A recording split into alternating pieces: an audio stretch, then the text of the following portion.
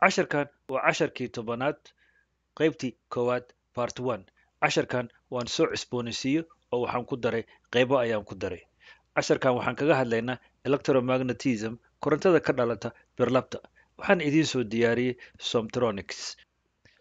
Inta aan casharka ka hadlin fadlan fiirso casharadii hore oo aan kaga hadlaynay magnetiska ama birlabta oo aan linkigeeda kor ku dhejin doono. Haddaan ku laabanno casharadii ku saabsanaa magnetiska oon wax yar idiin soo gaabiyo.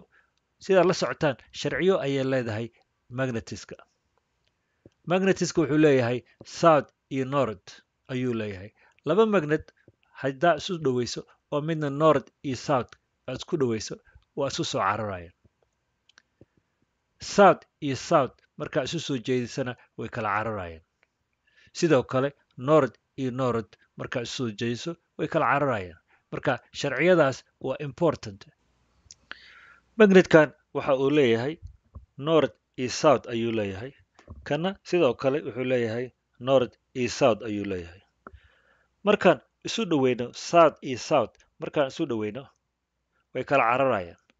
Ma ogolo markaan isu dhoweyno nord iyo nord aan isu dhoweyno sidoo kale waa uu ka cararaya ma ogolo laakiin markaan isu soo jiidno nord iyo south markaan isu soo jiidno waxaa dhacaysa waa isu cararaya. Sidaan hore idinku soo sheegay sidoo kale waa isu soo cararaya.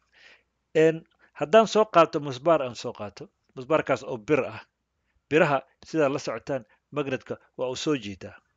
Markaan u dhoweeyo musbaarkii waa uu ku soo boodaya. Quwadda uu ku soo jiidanaya musbaarkaas waxaa loo yaqaanaa magnetic field strength ama magnetic flux density. Marka waa important inaan fahmi karno. Markaan fiirino magnetka markaan fiirino waxaa ka tegaya lyman ayaa ka tegayo oo loo yaqaano magnetic field. Magnetic field lineskaas waxay ka tagaan nordka waxayna tagaan southka. Waana important. Haddii aan soo qaato xanshiir aan soo qaato oo aan duleeliyo haddaan soo qaato oo aan magnetka quwadda ka soo baxaya magnetic field ka soo baxaya ama magnetic flux density ka soo baxaya haddaan u dhigo xanshidaas u dhigo waxaa dhacayso limeska ka soo tegayo magnetkaas qaar waxay ku dhacayaan xaanshida geesaheeda ku dhacayaan qaarna waa gudbayaan. Intaa gudbayso waxaa loo yaqaanaa magnetic flux ayaa loo yaqaanaa sida tusaale hore idinku tusha haddaan soo qaadano laba magnet magnet a iyo magnet b.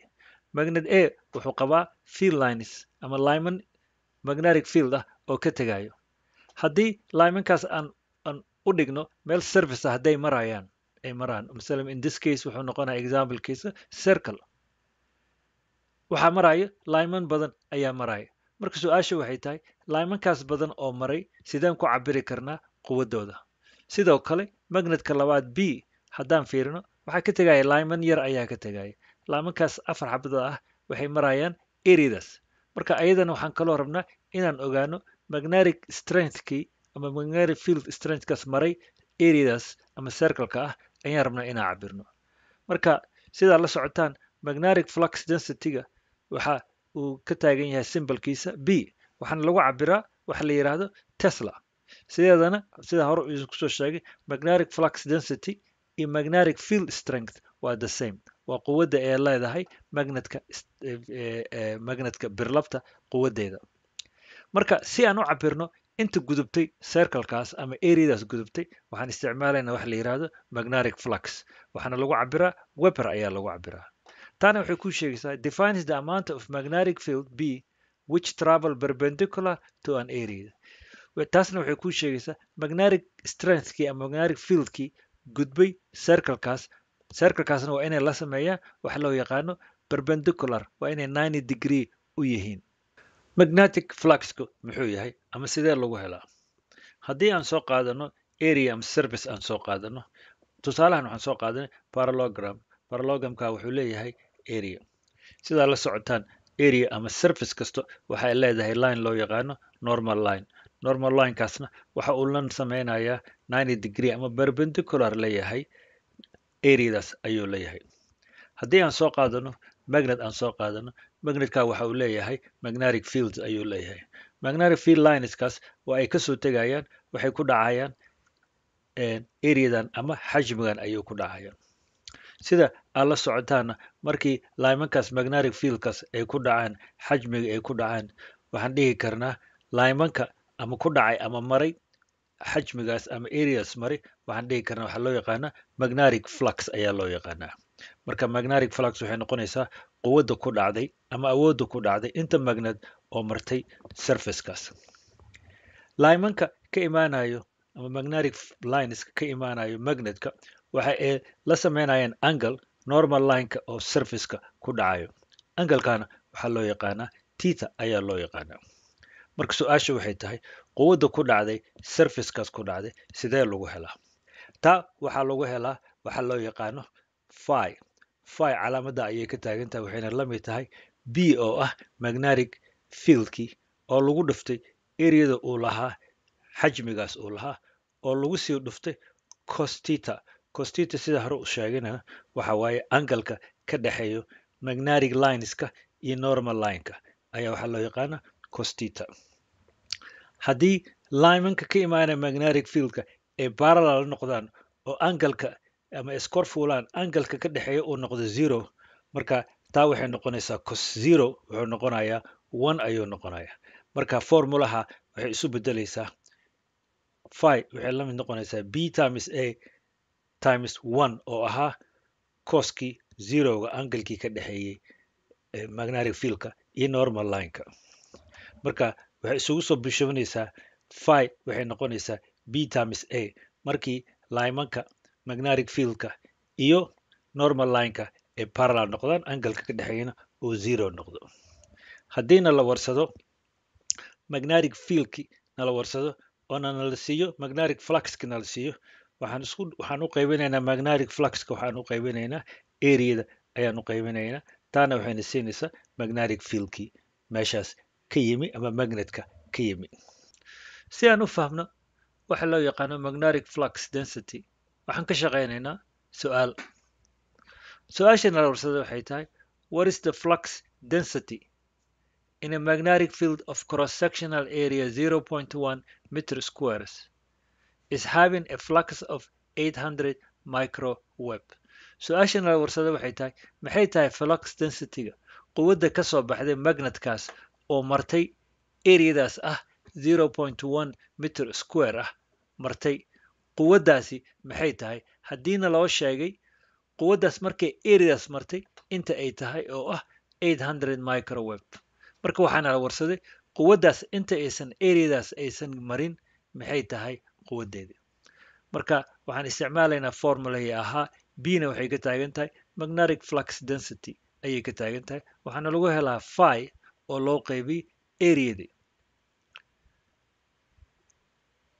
phi waxay la mid tahay 800 microweb taasna waxay tahay waa fluxkii maray meesha.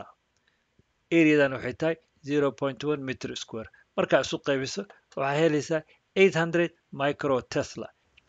Electromagnetism inta aanan ka hadlayn waxyar waxaan ka hadlaynaa taariikhda ninka loo yaqaano hans christian orsted ninka oo dhashay afar iyo tobantii august 1777 oo dhintayna sanadku markuu ahaa kun iyo sideed boqol iyo konton iyo kowgii march sagaasheeda wuxuu ahaa nin u dhashay waddanka denmark oo bartay cilmiga physicska iyo chemistryga ninka ayaa waxaa la yidhaahdaa waa ninkii ogaaday in markii electric current uu marayo fiilo uu marayo it creates magnetic field. Waxay keentaa inay dhaliso magnetic field ama birlab inay dhalato marka waa ninkii ugu horreeyey oo ogaaday markii fiilo ay koronto marayso inay ka dhalato birlab ninkaas ayaa ahaa ninkii ugu horreeyey oo isku xiro ama bini aadanka u tuso sida ay u shaqayso electricityga iyo magnetismka sida u shaqeeyaan ama calaaqaadka ka dhexeeya.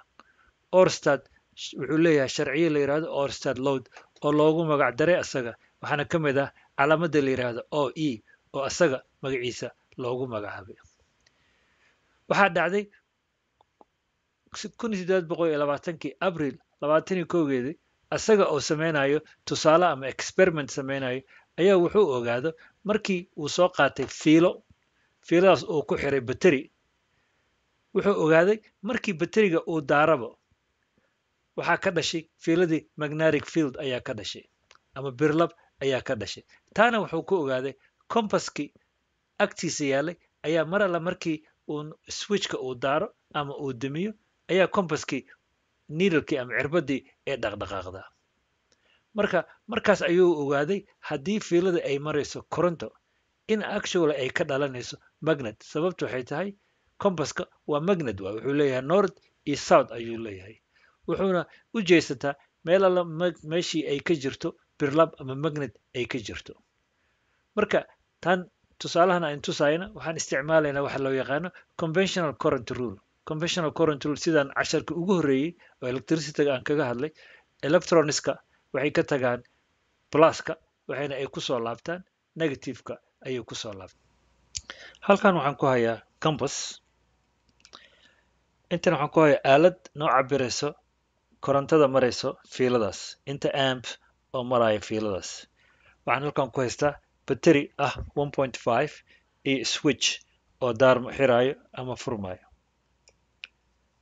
Switchka markaan xiro wuxuu noo cabirayaa inta koronto marayso oo ah around three amps.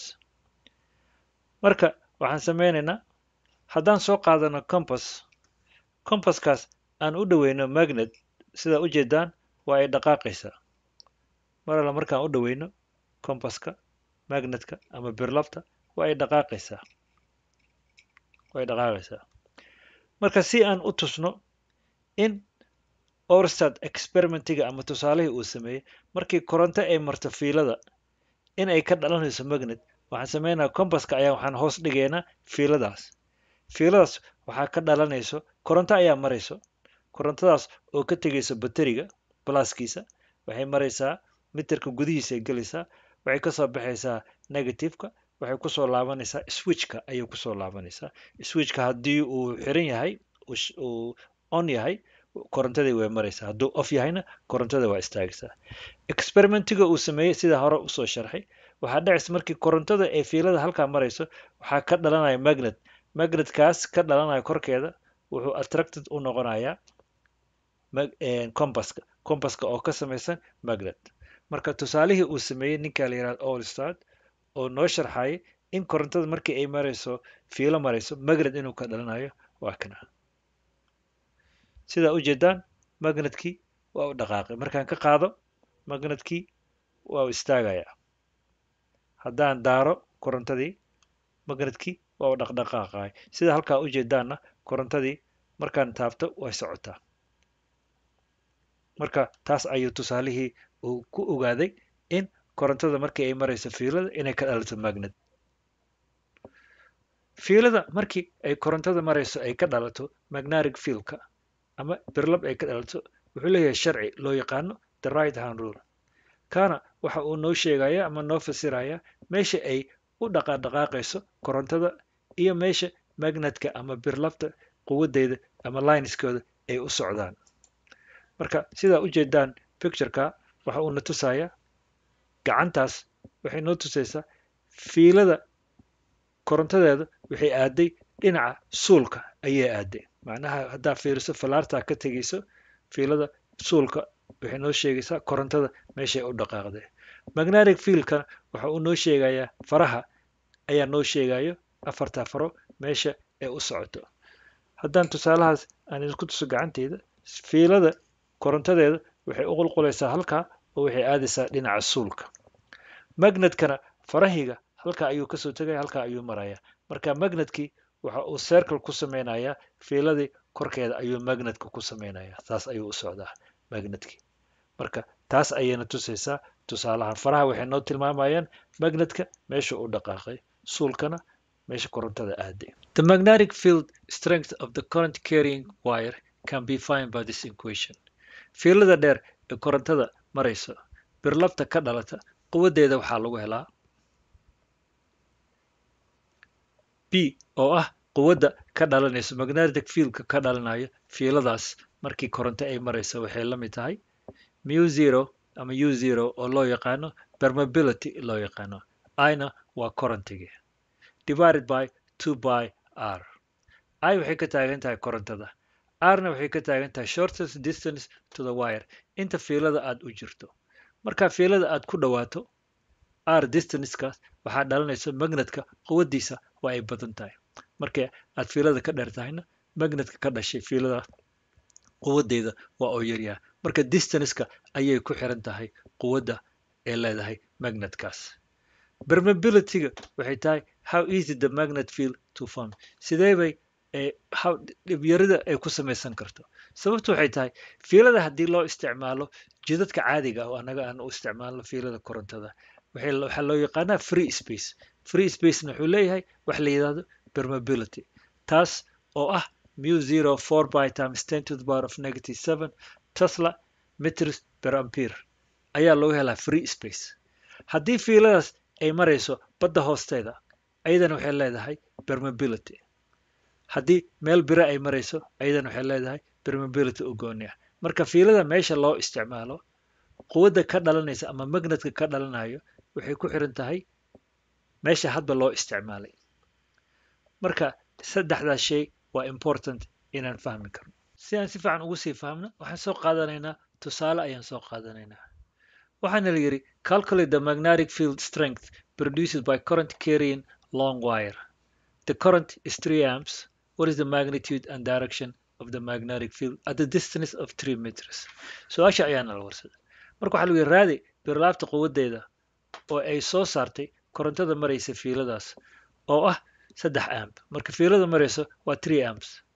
Maxay tahaa lagu yidhi quwadda birlaabta haddii aan ka cabirno saddex mitir haddii fiiladii inta ay noo jirta aan ka cabirno saddex mitir maxay tahay quwadda magnetic field marka waxaan isticmaalaynaa formulaheeni oo ahaa b equals to u zero i divided by two by r. Waxaana la siiyey i i waxay la mid tahay three amps. Korontada marayso waa three amps. Rna waa distanceka aan ka cabirnay magnetka fiilada maraya permeabilitygana la siiyeyna waa free space. Free space macnaheed waxay tahay waxaa loo isticmaalay hawada banaanka ah loo isticmaalay. Taana marka waxaa lagu helaa four by times ten to the power of negative seven telsa meters per amp. Su'aashan oo kale waxaa lagu siinayaa permeabilityga of waxaa lagu siin karaa of water ama waxaa lagu siin karaa ama meral waxaasoo dhan waa lagu siin karaa laakiin in this case annaga waxaana la siiyey banaanka hawada aan u isticmaalno. Marka markaan isticmaalno formulahii aan gelino intaas mu zero wuxuu la mid yahay numberkaas meters per ampere times three amps divided by two by rna waxay ahayd three meters. Mitirka iyo mitirka waa isu go'ayaan saddexda iyo saddexda waa isu go'ayaan waxaa soo harayo numberkaas markaan isku dhufano oon u qaybino two by twelve point five six times ten to the power of negative seven markaan u qaybino six point two eight waxaan helaynaa zero point two times ten to the power of negative six tesla.